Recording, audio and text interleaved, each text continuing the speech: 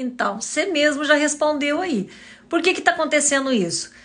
Por insegurança do diretor, porque o diretor não colocou limite na família.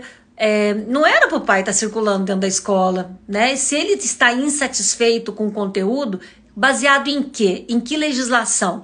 Mas o pai ele sabe que a gente que existe a BNCC, que a gente tem que seguir esse conteúdo, que é esse conteúdo que é trabalhado em sala de aula.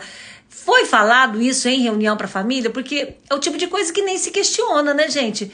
É conteúdo é do MEC, então toda escola tem que trabalhar isso. O que, que ele pode estar questionando? A não ser que seja a maneira com que esteja sendo trabalhado na escola. Aí ele teria que entender um pouquinho de pedagogia, né, de metodologia para poder opinar.